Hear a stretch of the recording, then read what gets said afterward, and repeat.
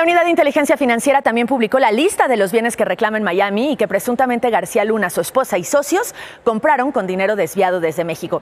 Se trata de 19 propiedades con un valor de 17.9 millones de dólares, según la UIF, el equivalente a 331 millones de pesos.